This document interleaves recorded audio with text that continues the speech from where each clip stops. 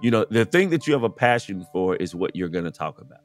And and I think a lot of people want to be better at witnessing and want to be more let their light shine more. They just feel intimidated. And I always say it like this. My thing is this. Don't share what you do know. Don't feel bad about what you don't know, but let what you don't know motivate you to want to know more, right? So instead of being satisfied on the surface with your relationship with God, want to go deeper because I promise you, the Bible tells us no good thing will He withhold from us. If you're chasing after Him with your whole heart, He's going to expose a lot to you. Marcus Aurelius said, What we do in life echoes through eternity. What is your life echoing through eternity? Welcome to Echoes Through Eternity with Dr. Jeffrey Skinner. Our mission is to inspire, engage, and encourage leaders from across the globe to plant missional churches and be servant leaders. So join us and hear the stories of servant leaders reverberating lives as God echoes them through eternity. Brought to you by Missional Church Planting and Leadership Development and Dynamic Church Planting International. Welcome into Echoes Through Eternity. I am your host, Dr. Jeffrey D. Skinner. What is God echoing through your life today? I am joined in the studio today by Columbus Cody. He is head of, he's not head of school. He is a teacher at Head School, Head Magnet School in Nashville, Tennessee. I ran across his profile on LinkedIn. He and I began to talk. And I knew almost immediately after I began to listen to some of his, his speaking engagements and read some of his content. This was a guy who God was using in powerful ways in the marketplace, in the workplace, a teacher in public school and, and, and just sharing the word of God, not overtly, not, not holding, you know, sermons, doing sermons in the middle of class, but just simply living his life and then outside of class, writing books. He has a book called Recap that he's written. He's a speaker. He's chief encourager. He just, he's telling me this morning, he, his son's 13 years old and he's taking him out for driving lessons just to have some, some father son time there. And those are the types of people we like to have on Echoes Through Eternity is the people that may not be in the church and, and are just serving God in anonymity oftentimes, but are, are being faithful and in doing so, God is using them in powerful ways. And, and I think that's something that today in this culture we need to learn is that ministry doesn't ha- just happen inside the church walls. Ministry is happening as we live our life. And that's the theme of this season of Echoes Through Eternity is how God is equipping people and using them in all walks of life. So Cody, welcome in, brother. It's good to have you here today. Oh, thank you so much. I'm honored to be a guest on your show. Yeah. So so tell us a little bit. Now you how did you get into kind of tell us about your story, your journey, how you got to heard you say you grew up in Louisiana and mm-hmm. and uh, even had a brief football career and very brief. Very tell, brief. tell us a little bit tell us a little bit about your journey and how you got there and journey of faith and then and then where you are today and what you do okay. to you know, spread the love of God. Awesome. All right, so I was born in Chicago and okay. when I was about two or three, my father and my mother they divorced, and we moved to Mississippi. And I lived in in the down in the Delta, Anguilla, Mississippi, with my grandmother for a few years, and then we moved to Arizona. And I lived on a small Navajo reservation in Arizona called Chinle, Arizona. I lived there for a few years. We moved to New Mexico, which is just a state next door. Then we moved to Louisiana. All right. Now, I lived in Louisiana for six months, just half of my freshman year. And it was probably the roughest six months of my life. Like, it's like everybody wanted to fight. Like, it just made you, like, it was almost like it was a training ground to make sure you can handle hardship in life. I guess that's how I could think of it. Because it was right outside of New Orleans, it was Metairie, Louisiana. Then we moved back to New Mexico and then we moved to Tennessee. So I, I, moved to Nashville, Tennessee my junior year second semester my junior year in high school. I graduated here in uh, Nashville, and then I went. I joined the U.S. Navy after graduation. Served three years in the Navy, came home, and started my college career. And I attended Tennessee State University, and I was majoring in physical therapy at first because I wanted to be in the sports field, and I wanted to be an athletic trainer. So I worked in the athletic training training room for one semester and realized I do not want to do this. They work from sun up to sundown and they really don't get paid much, you know, unless you're the head trainer of a big university or something like that. You're not getting paid a lot. And so the, the beauty though, and, and I thank God for this, I was I was talking to the head trainer one day. He said, you know, you don't have to major in physical therapy to be a trainer. You can change your degree to physical education and it might be a little easier. And so I changed my major to physical education. And uh, to this day, I'm so grateful that he told me that, you know. And then as I'm, I started refereeing basketball. I was like, you know, I kind of like basketball. I love basketball. I think I'm making coach this game, you know. So I asked my head at referee. I was like the leading referee, the one who trained all of us. If you were to send me to someone who would mentor me on how to be a basketball coach, who would you say? And without blinking, he gave me a name. And so I called that gentleman who's in the Hall of Fame at Tennessee, in the state of Tennessee as a basketball coach. He tells me to come over that evening to their basketball and they have a game that night. And he interviews me in his office and he just says, Why don't you stick around tonight and stay for the game? And I was on the bench as a volunteer assistant for the next two years. And then I finished college and I started, you know, student teaching and I became the freshman girls coach at Glencliff High School.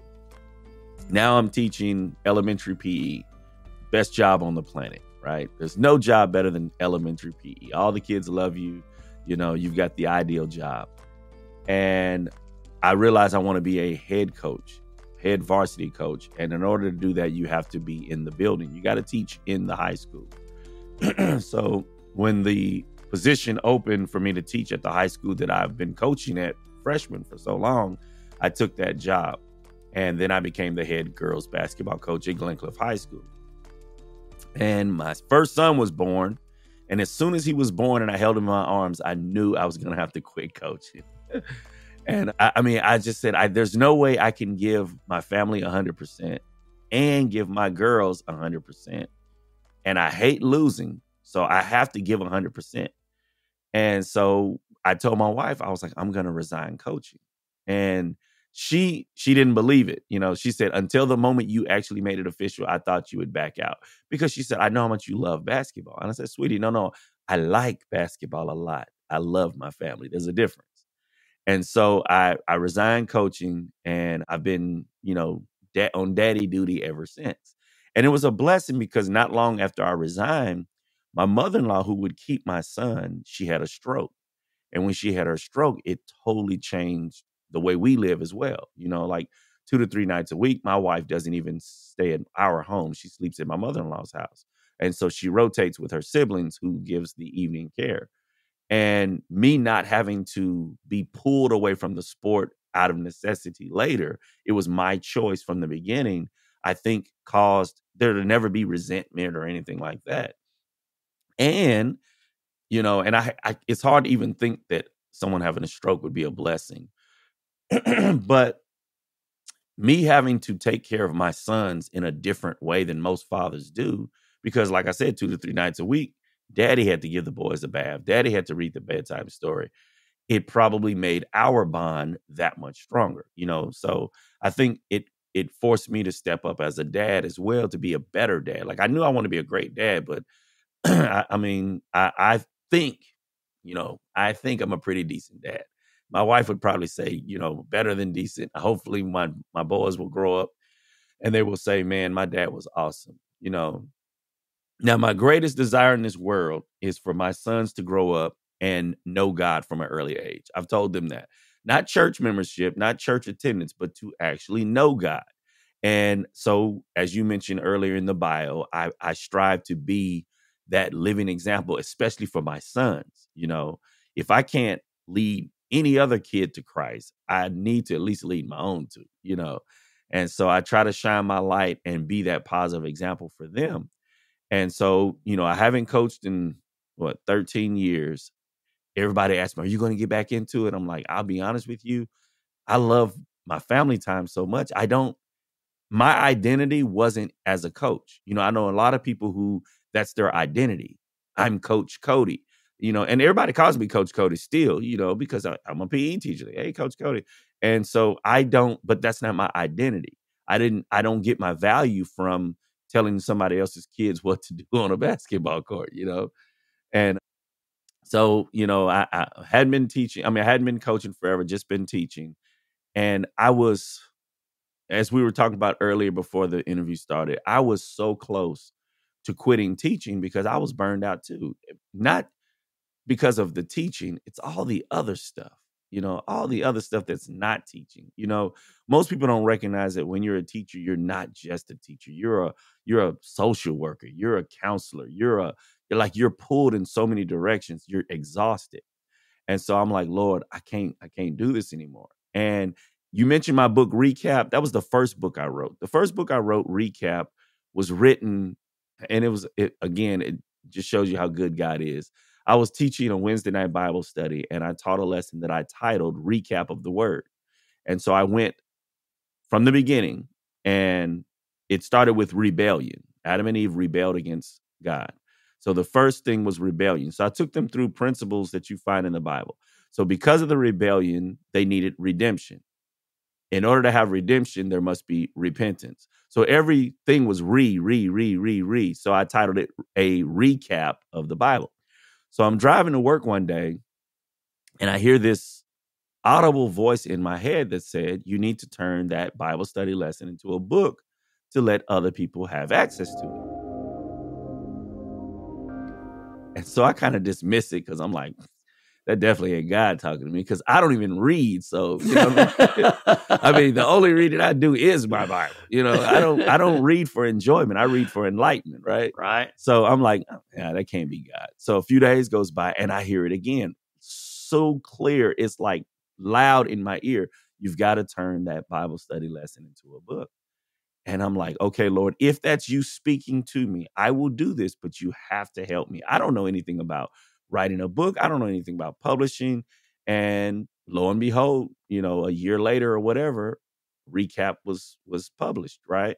And it, it's crazy because I would write a little and take off two months, and then write a little, and I could have literally written this in a month had I had to just sit down and write. And there would be nights where God would wake me up at like two in the morning, and I could not sleep. And it was like, I'm gonna go downstairs and write in the book a little bit. So I go downstairs and I write. And I promise you, every time I did that, I was like, oh my God, I don't know what this is gonna sound like in the morning because I'm tired. This probably is not gonna make any sense. It was always the best parts of the chapters, right?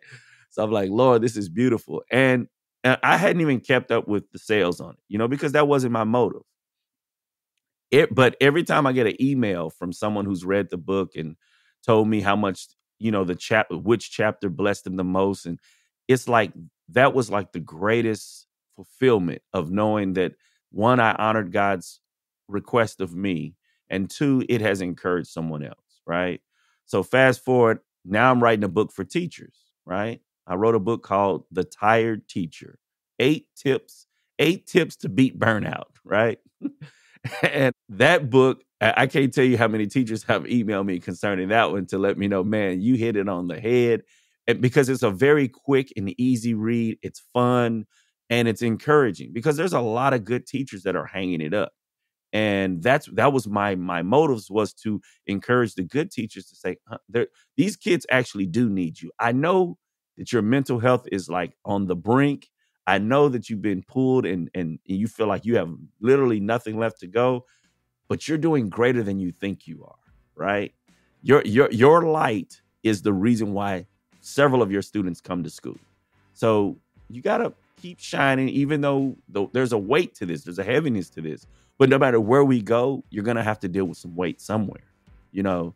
So I wrote that book, and then I wrote a book called Too Many Toys in the Tub. It's a children's book.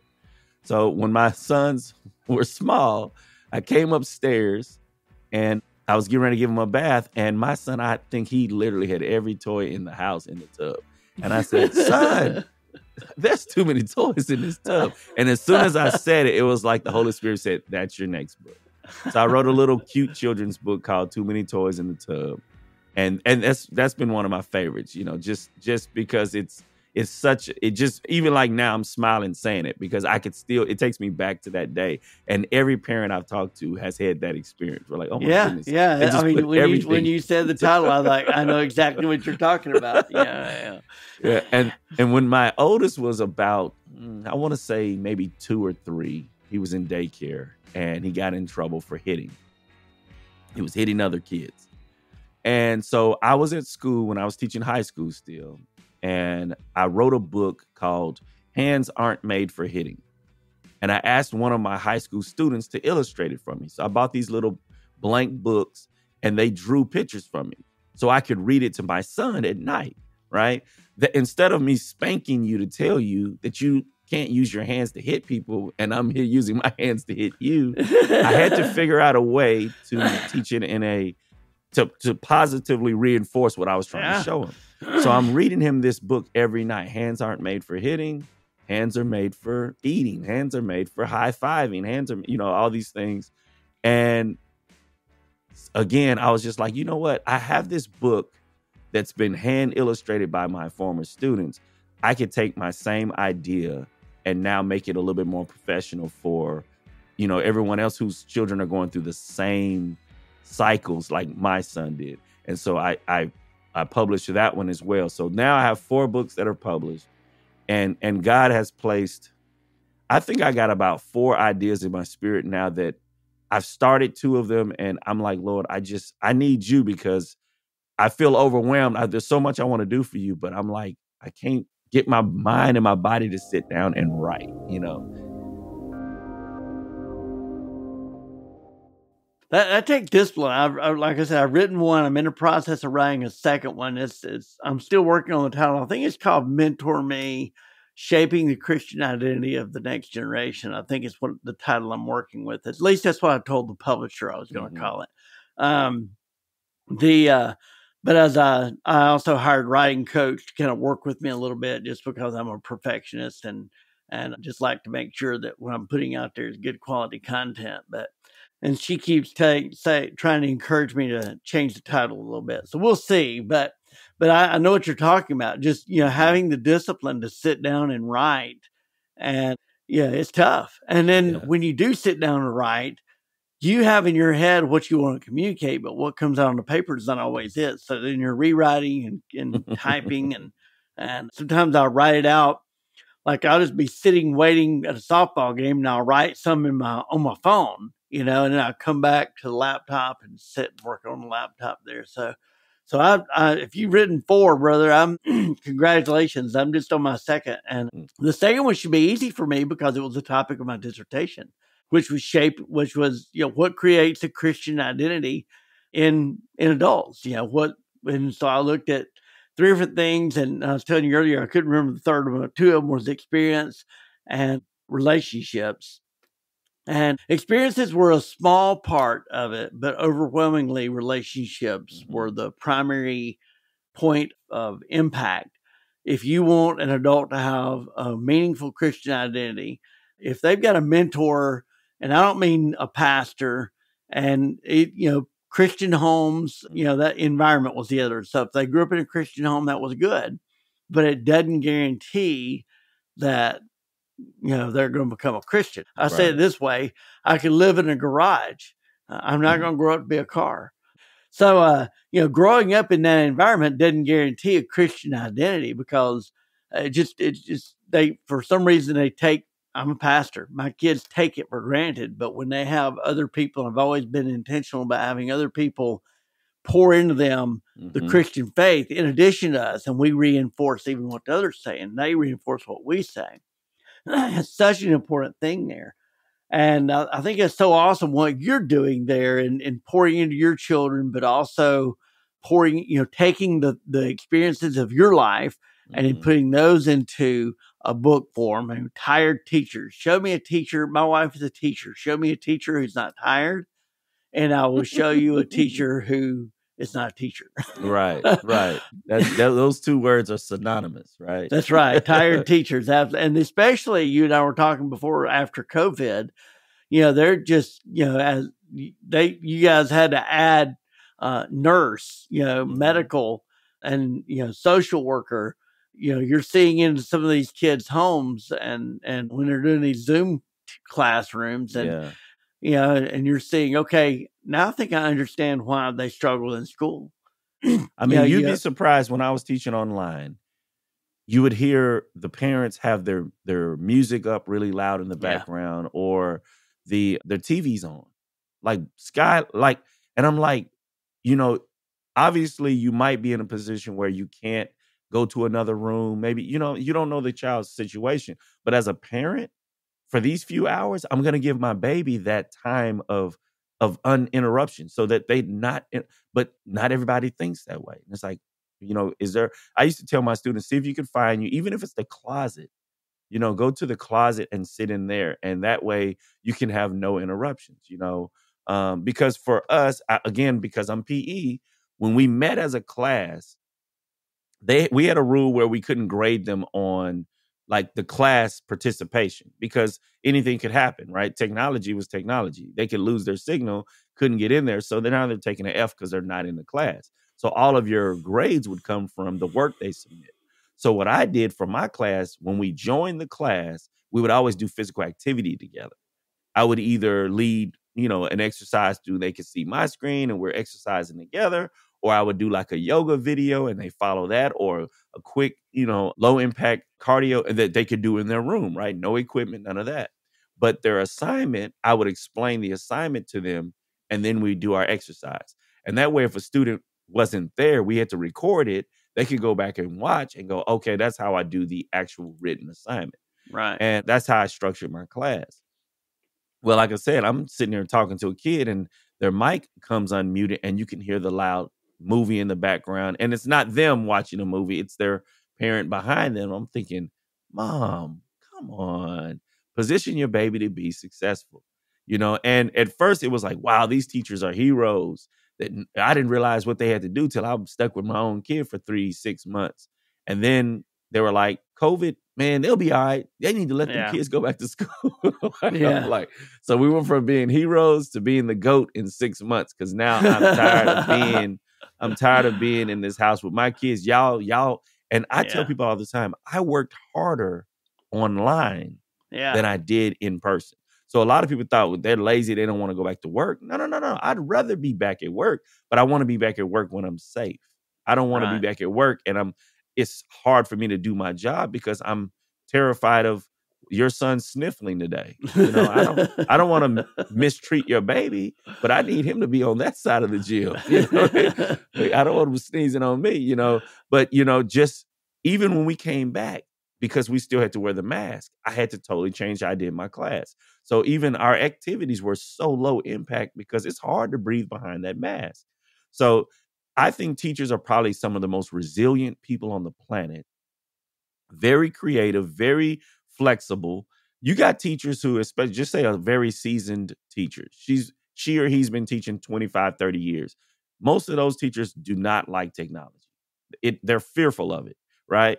And so now you're having to learn how to do a video conference and you're you're a 65 year old teacher like i don't know to, um, now you're panicking and freaking out and now this teacher is fluent with it right she's an expert or he's an expert and it's because again the the never say quit mentality that teachers have, you know. And I think if people really understood that, they would do everything to help their child's teacher. Everything. Yeah. Well, my wife and I have have the discussion often because you know, you as a teacher, I don't know what it is, but it seems like teachers are everybody's favorite punching bag. Mm-hmm. Uh, education scores in, in the United States are the worst ever. You know, reading, our kids don't know how to read, they don't know how to write, you know, and and it's just all y'all's fault. Every time, every time a, a child fails a test, it's, it's your fault. You know, it's a child gets a stump toe at school, it's your fault. It doesn't right. matter yeah. what it is. And, and, so we, we have this discussion, you know, because the average person out there doesn't recognize, okay, we're we're training. My wife works at a school where English 95% of the student population English is her second language. And so then she comes she teaches science she's trying to teach teaches life science. So she's trying to teach, you know, basic human life principles to people that don't even speak English. And then they take the test that's written in English and then they fail that test. Well, if if I don't care how smart I am, if I go to Mexico and take a test or somebody hands me a test here in America written in Spanish, I'm probably going to fail it. so, you know, we're educating everybody regardless of who they are. Regard we don't check their legal status, we don't check their passports, we don't check you know, where they come from. We don't check their family environment. We don't even check if it's their real mom and dad when they walk in the door, dropped off at school, or when they catch that bus. You know, that's not the teacher's responsibility. The teacher's responsibility is supposed to be to teach. But as you said, they have to do so much more than teach. Hey, our test scores might go up if the children had a home environment where they could study. Our test scores might go up if the children weren't having to deal with whatever they're dealing with at home sometimes. And so I think I think contextualizing that is important uh, because we're educating everybody, whereas you know China and Japan and and some of these others that are way at the top up there that we get compared to. If if at 12, 13 years old you have not shown an academic efficiency or proficiency, you get a job. Right. You're you're right. working at 12 or 13. Yeah. And so if you want any type of future, you're you're as a child, you know the day you're born. The, the motivation is high. That's right. That's exactly right. the motivation, right. the stakes funny, are high, the motivation That's high. exactly right. Funny story. My son, I told you he started college last year. And I don't mean to air dirty laundry, but he didn't do the best in the world that he could do his first year of college. And so I told him when he went back this year, I said, now, son, I said, we paid that first year of college, but because the the classes you failed, you got to pay for those. So you know this is this is on you. And I said, you know, he says he wants to be an entrepreneur. I said that's great, but entrepreneur, you got to have a skill. You know, you don't just show up and say I'm gonna own my own business one day. That's all entrepreneur means. You own your own business. It's not a profession. It's so you gotta, you know, if you're gonna be oh, start your own sports coaching thing, then you're you be a that's an entrepreneur. You got to be skilled as a coach to do that, and in, in that particular sport. You know, if you're going to do a uh, be an entrepreneur, own your own mechanic shop, well, you got to be proficient in fixing cars. And so you got to have a skill there. What's your skill?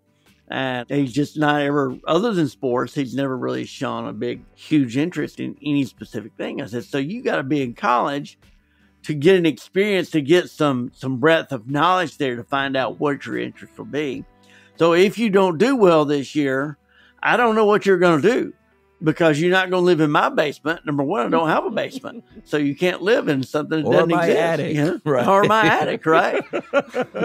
and so he's doing really well this year. And so I, I sent him a, a message the other day and I said, buddy, I'm really proud of you. I said, you're working hard this year and I said, I haven't seen you out late or anything. I told him, I said, the key for you is getting rest. You can't get, you know, stay up to three o'clock in the morning, wake up for class at 7 a.m. and expect to comprehend what the teacher's teaching you there. Right. You know? Right. And just, you know, everybody goes through it their freshman year. I went through it. And, and uh, so, but I just told him I was proud of him. And he replied back, I don't want to be poor. Great motivation. I said, "Hey, that that's good. You know, whatever uh-huh. it takes for you to get those A's and B's up there, right. you latch on to that truth, brother, and you you hold on to it to the end." So there's something about poverty. There's something about knowing, you know, back to what we were talking about, educating the masses. There's something about knowing that that, that gives you some motivation, you know. Yeah, and absolutely. sometimes I think it's the kids that come from some of the harshest environments that perform the best. And some of these kids that come from a, you know, well managed middle class home, sometimes they're the ones that, that's getting in the most trouble because they, they, they sometimes have this attitude. No, this is, I'm not talking all of them, this is some.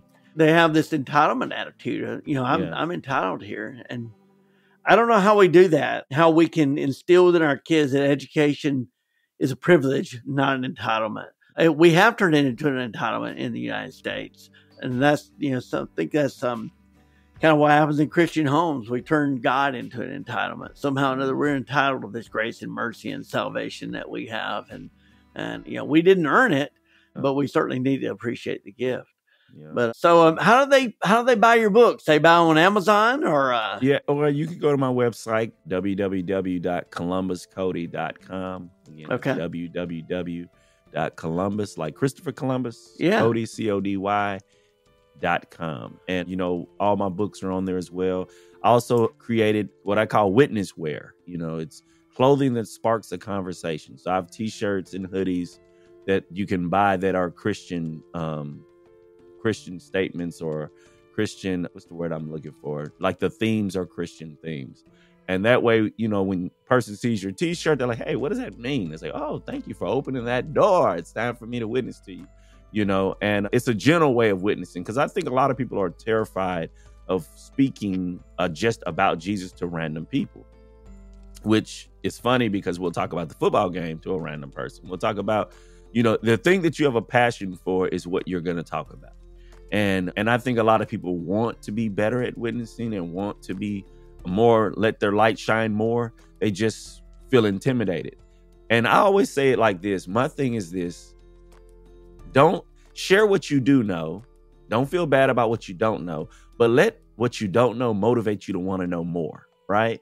So instead of being satisfied on the surface with your relationship with god w- want to go deeper. Because i promise you the bible tells us no good thing will he withhold from us if you're chasing after him with your whole heart, he's going to expose a lot to you. And then our motives is not to know more so I can argue more or put more people in their place. My goal is to know more so I'm more equipped to debunk all the barriers the enemy's going to put in the way from I'm trying to share this gospel with you, but you have a preconceived notion of who God is. And so you keep fighting me, fighting me, fighting me. Whereas because I filled my heart with the Spirit of God and filled my heart with, well, with the Word of God. And then the Spirit of God says, okay, well, share that verse that you read seven months ago and didn't know why you were putting that in. Now you share that verse, and that person's like, oh, I see what you're saying. I get it. And, you know, my wife sent me a video the other day, a TikTok video, and I saved it. And it was with the idea of it was, well, it was a lady who she was talking to this Satanist. He was a Satanist. And he said he he kept on going on. She never said a word. He kept on talking about, you know, his you know, how he became a Satanist and all this stuff and all this. And when she got up, she just embraced him and hugged him. Thank you for sharing your journey with me. Something like of that nature, she said.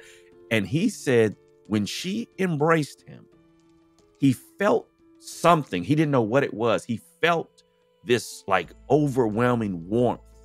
And so he was like, What in the world was that? And then he, I don't know how it triggered in him, but he found that that was Jesus embracing him. And so he became a Christian, right? And and I told my wife, I said, I'm gonna tell you the beauty of that video is this. Most of us, the moment we meet a person that says they're a Satanist, we want to set them straight so bad. We want to hit them with the right left combo of the word of God. And all she did was she listened. She showed him love in spite of what he thought he was. And the enemy now, who better, who better to speak God's word than someone who used to be, right? The the as Paul would say, I'm chief, I was the chief sinner, right? I mean, who better to to encourage the masses to come out of the darkness than one who used to dwell in the darkness and will openly admit it. Most of us don't want to tell everybody the darkness we used to be in. Like, well, I was never in that much darkness, you know. And like you mentioned earlier about the entitlement of being a follower of Christ, we just feel like, you know, God owes us something. And God is like, I think you owe me everything. Yeah.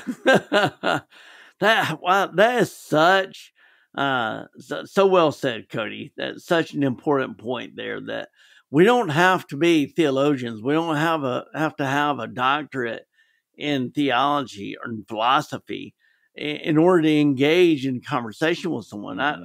sometimes, a lot of times, truthfully, are I've, I've never known I've never argued anyone into the kingdom of God. Let me put it that way. You're right. You know, I, I can stand there and and yell at somebody and and tell them and and just completely dismantle their argument Mhm. from a from an an intellectual point of view, from an academic point of view there. It doesn't convince them. It's not knowing when the Bible talks about knowing God, it's not brain he's talking about, it's heart.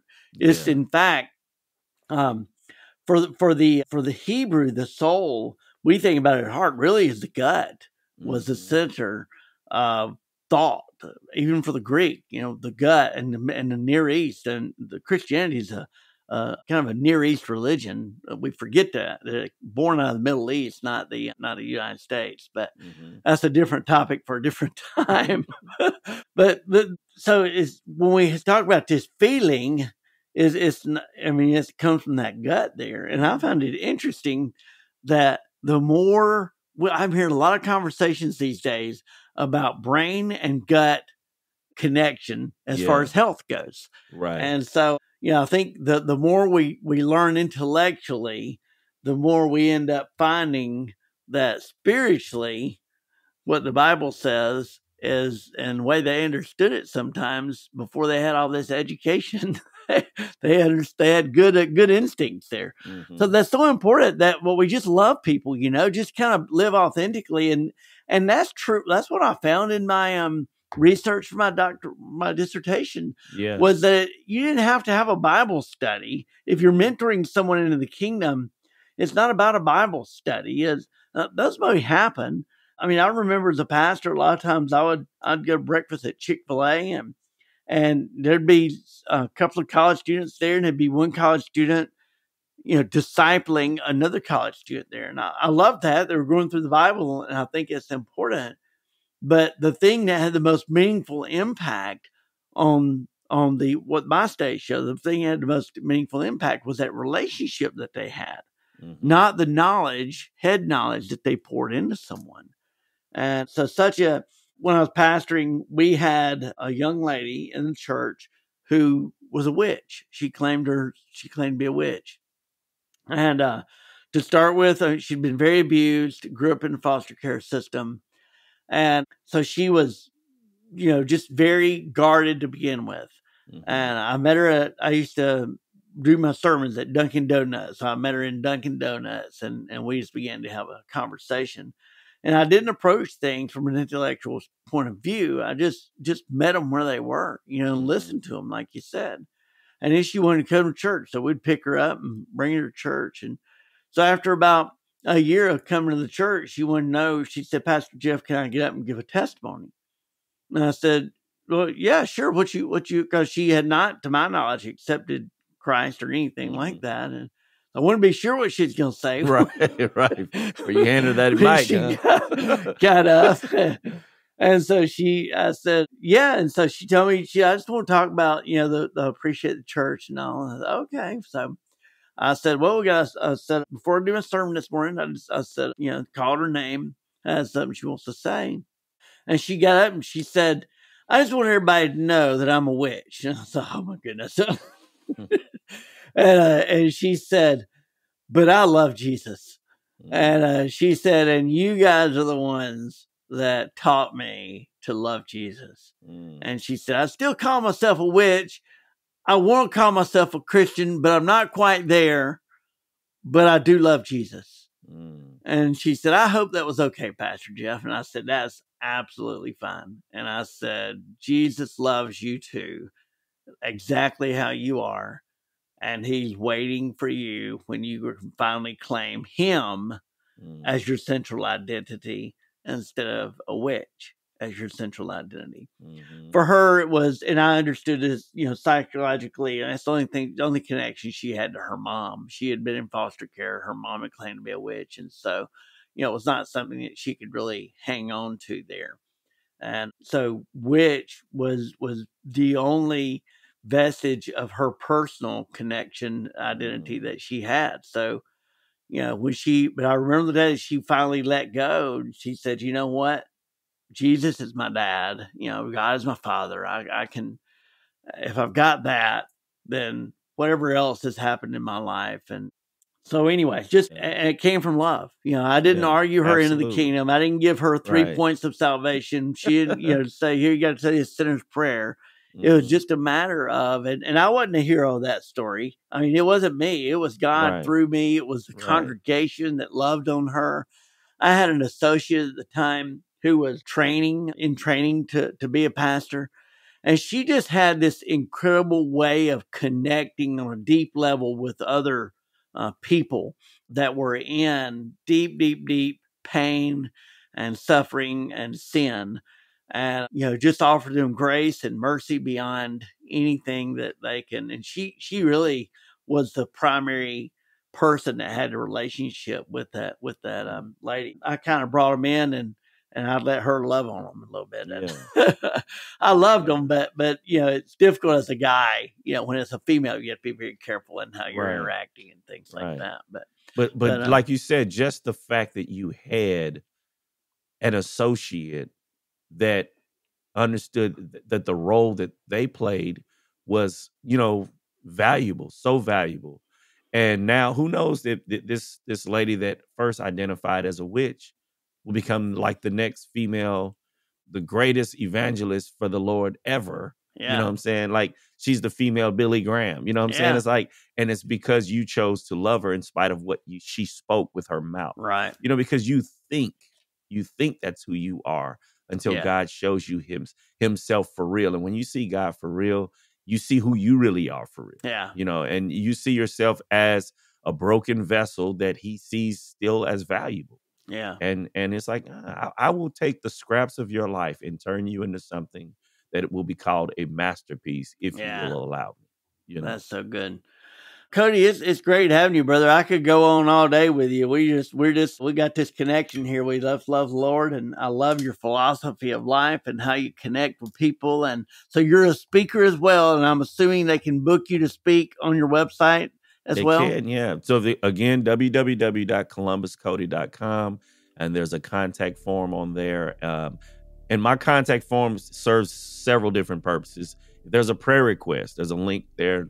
Click for prayer requests. If they do would they if they would like to book me as a speaker for their engagement or their conference or whatever that that is also in there. They click the booking and then it'll ask them a few questions and then I'll be able to get in touch with them to, to fine tune all the details of the the event and to make sure that I'm available. And then you know, I, again, my my thing is this: I always want to let God use me to encourage the heart of someone else. Right. You know, and the the thing that I love the most is that I grew up in church, like a lot of people do, but I didn't like church, right? Yeah. And it's because there was nothing for kids per se. Yeah. There was nothing for us. And so, I mean, as as we talked about earlier, a lot of times a child will veer away, but because the foundation has been set, Proverbs is telling us the truth. Train up a child in the way they should go. When they're old, they won't depart. We're gonna come back, you know. But we gotta the training's gotta be there though. You know what I mean? You can't expect them to come back if there's nothing, no foundation has been laid. So and I, I'm Nazarene as well. I didn't tell you that as well, but I, I go to Christ Church of the Nazarene in Nashville, Tennessee. And when I the first moment I walked into Christ Church, the first moment I came home from the Navy, my mom invited me to go to church with her, and I'm like, I don't want to go to church. You know what I mean? so I go to church, and the spirit, the love in that building is there. There goes right back to your dissertation, relationship, right? The love in that building was like I knew from that moment I'm where I'm supposed to be, right? And so God has continued to to use my pastor to mentor me, to show me things, and to put me in positions where I have to serve in a way that I would have never. How you go from being a kid that doesn't like church to one who can't wait to teach Sunday school, to when your pastor asks you to speak in morning worship, you're like, oh my gosh, yes, I will definitely do that.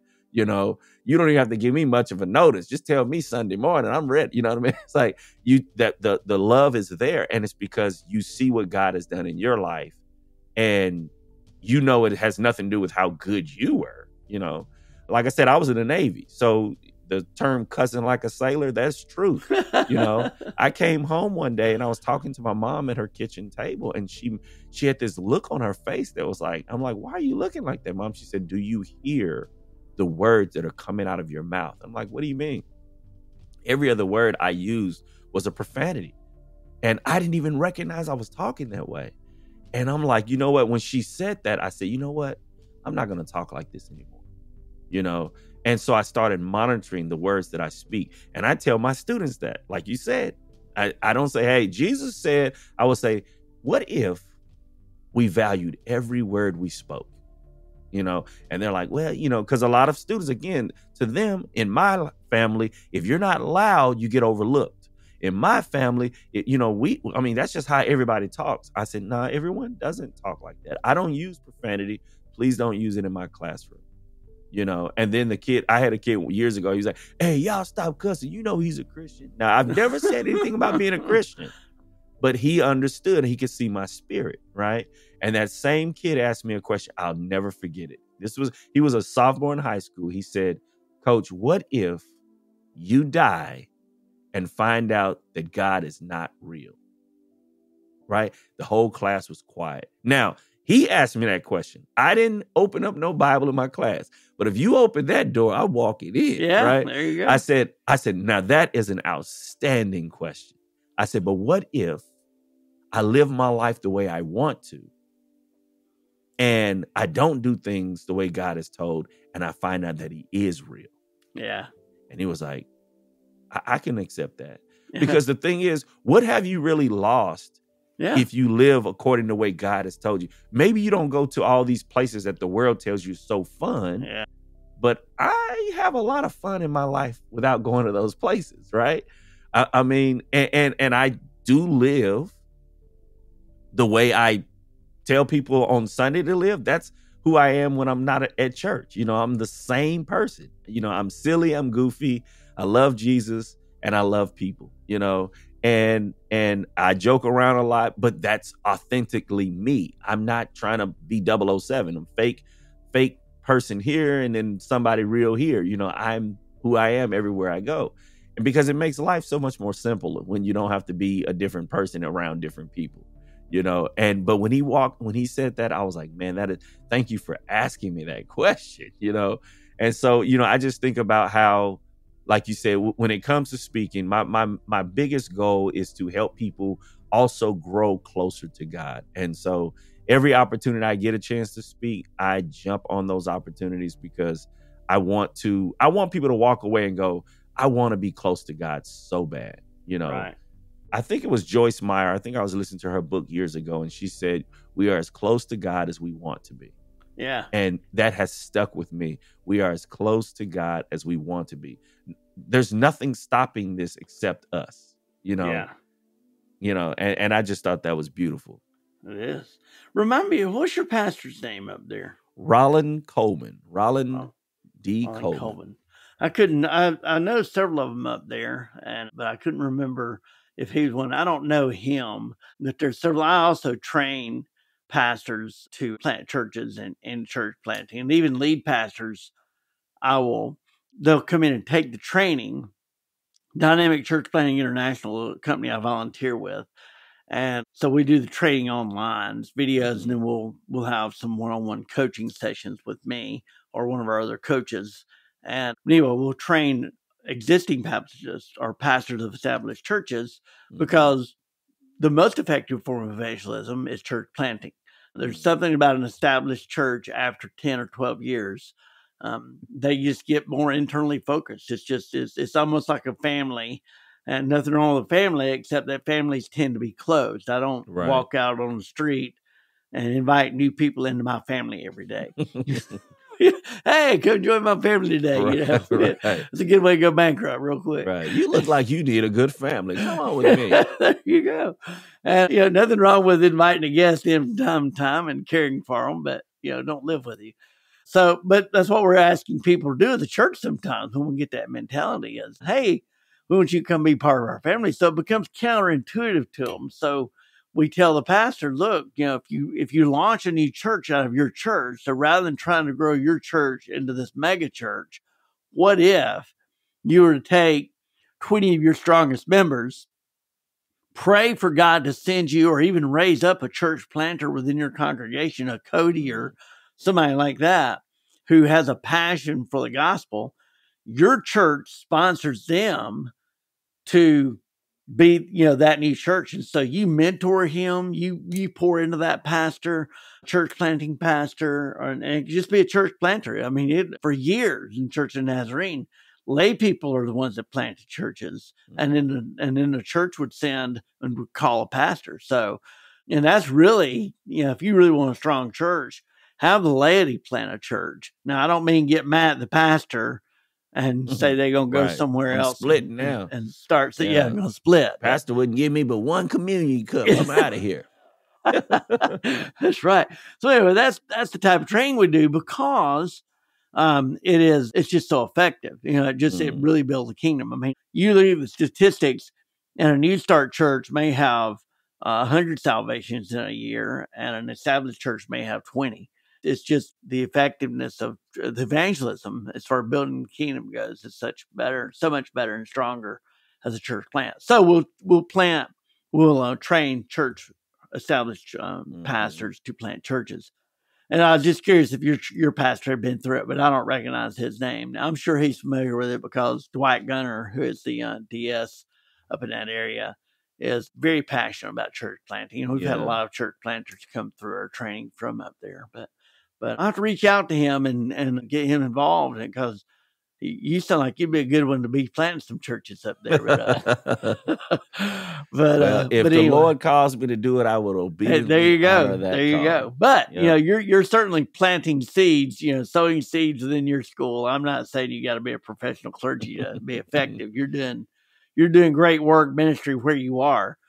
But anyway, Cody, great having you, brother. Again, you. the uh, columbuscody.com is the website. He's a speaker, he's an author, he's a teacher, head head encourager, chief encourager, you know, and father and husband. And so anyway, please check out the website. You can be a co-creator with God by helping to echo our voices Share our episode with friends and family and on your own social media accounts. Give us positive five star reviews. Uh, the more positive reviews we have, the more visibility we have, and the more voices that are echoed through eternity. Uh, we often invite guests who are serving faithfully year after year, often in anonymity in their respective roles and ministries. God sees them, and, and the reality is, is for a good kingdom leader, that's enough. Uh, we do not do what we do for the accolades of humanity. We do it because we're called by God. Uh, but I believe that God uses people like you and I to continue those reverberations and echo them throughout eternity. You can partner with God by liking, subscribing, writing a quick positive five star review, and again, sharing those voices with friends and family and on your own social media accounts. Those reviews will eventually lead to other guests who have larger platforms that have more listeners who will then in turn listen to the show. And again, it further echoes those voices, which is the whole vision of the Echoes Through Eternity podcast here is to continue echoing those voices that God is echoing um, through eternity there.